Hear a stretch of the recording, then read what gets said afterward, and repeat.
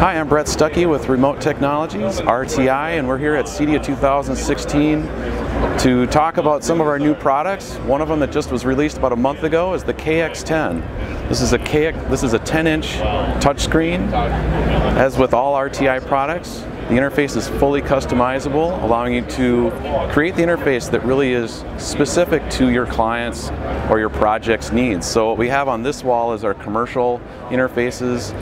The graphics that were used on this interface is actually created by one of our dealers, and it really shows what's possible in our software, including changing the language, changing the buttons, changing the interface to really uh, make it easy for the user the KX10 also has HD base T input on it as well, allowing you to use the KX10 as a video display.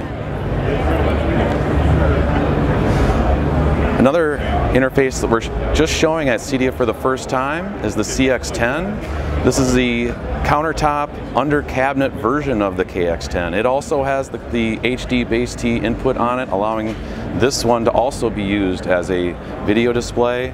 It's perfect for boardrooms, conference rooms, uh, kitchens, and it has a screen that tilts, which allows you to tilt it away if you're tucked under a, a kitchen cabinets so that it opens up space on the, the countertop.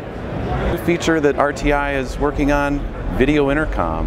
Video intercom is compatible with SIP-based door stations. It has H.264 support, and it works on our new KX10 in-wall. Some of the other features, some of the other interfaces that we're working on, this capability is on the, the KX3, the CX7, the KX7, the T3X remote control. Thanks a lot.